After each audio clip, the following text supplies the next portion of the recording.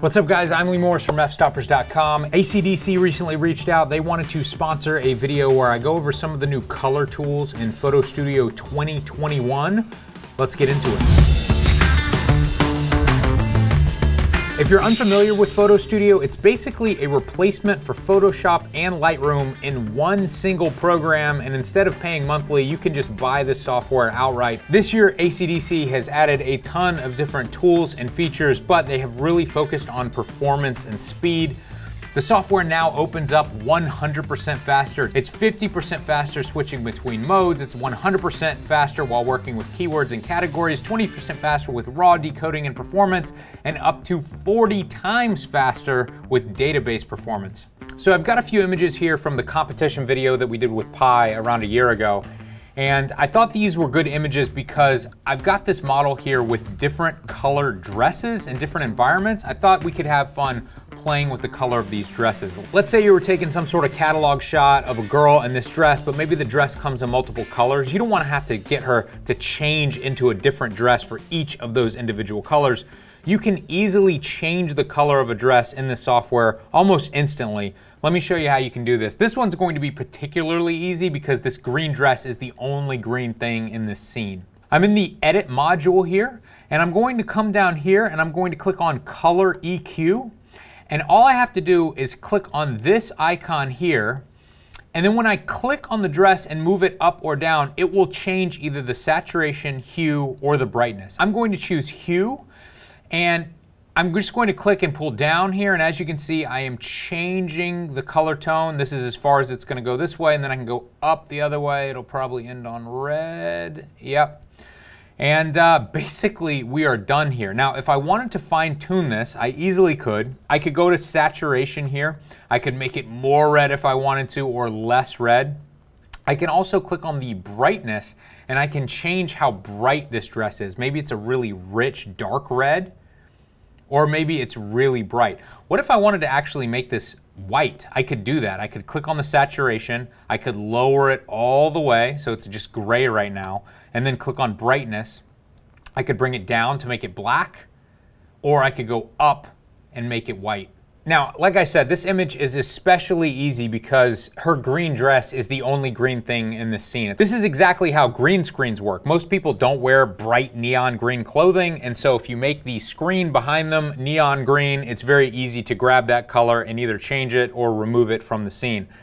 But what happens if you have a scene like this? This is a girl in a red dress that's surrounded by other red items in this environment. I'm going to try the exact same thing, but I don't think it's going to work. I'll go to hue and let's grab this. And as you can see, it starts grabbing all of the red in the scene. And the same thing's gonna happen if I go to saturation here and I start lowering the saturation. It's just gonna lower the saturation in everything, not just her dress.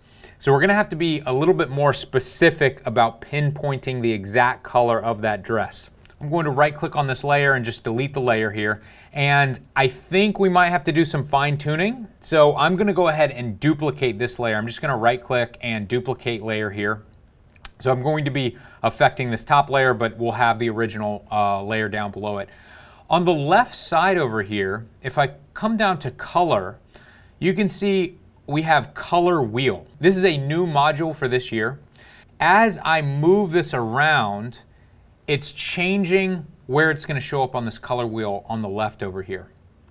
I'm just gonna click right here on her dress. And then what I can do is I can start moving this around and really start fine tuning what tones of red I want included in this selection.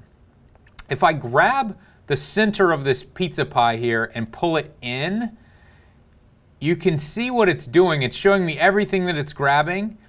And as I pull it in, it's going to start removing areas that are not very saturated. You can see the dress is extremely saturated red. So you can see I can go very far and then it's gonna start eating into the side of the dress. I'm gonna back it off right there. Now the opposite is true if I grab the outside of the pizza and pull it in. It's going to start deleting out the most saturated areas, which of course are the dress. So I'm gonna leave that where it is. Now I'm going to grab the side of this pizza slice and start moving it around and you can see From up here, it's eating into the dress right there. But down here on this one is where all of the oranges and yellows are. And you can see that's what all this is in the background here. So I bet if I start moving this, yeah, it's gonna start removing all that orange out of there, which is perfect. So right now I've got a pretty specific selection on this dress and we can do the exact same thing that we were doing before. I can just move this hue slider to change the color of the dress.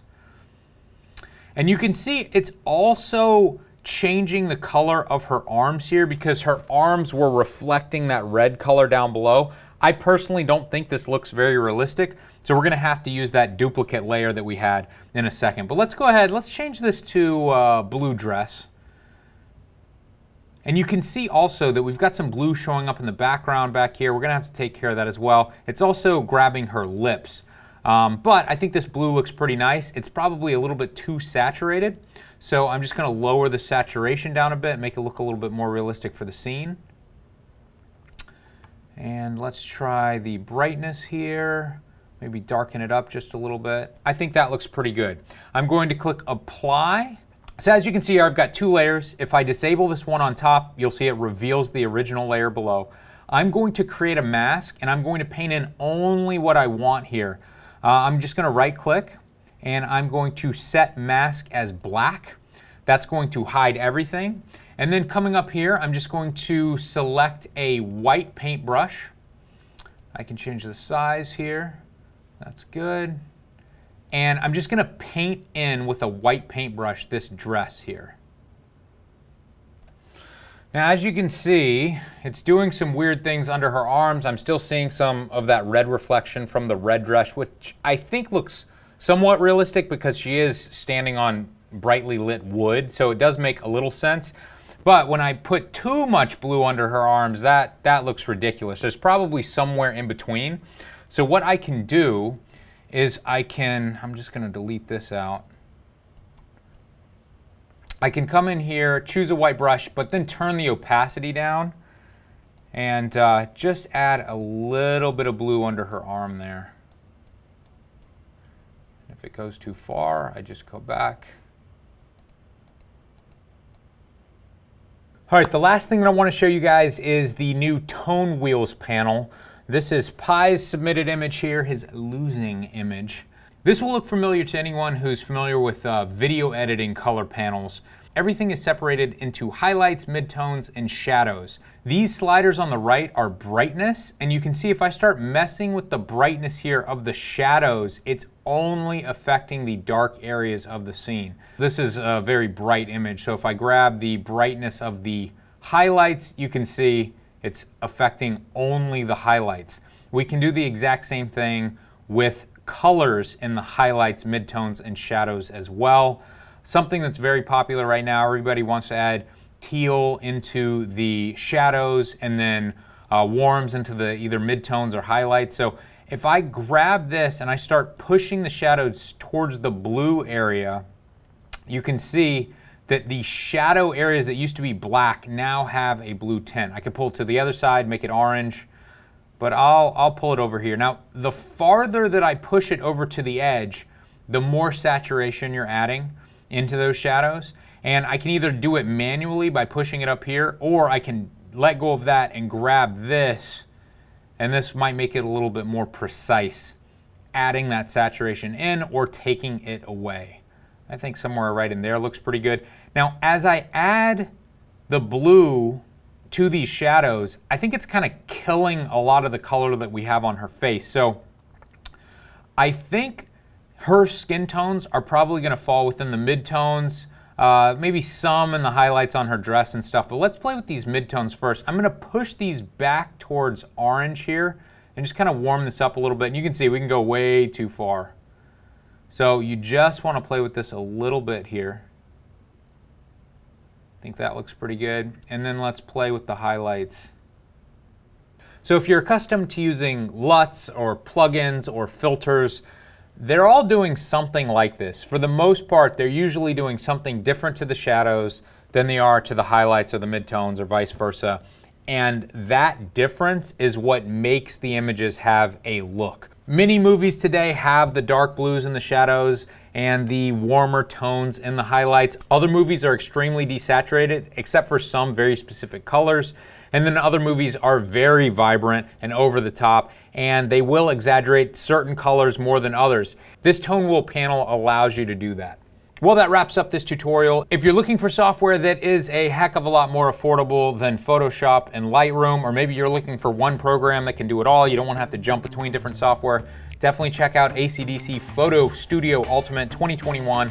That's what I'm using right here. Click on the link in the description. You can check it out with the free trial, totally for free. See if you like it before you buy it. I think you're going to be impressed.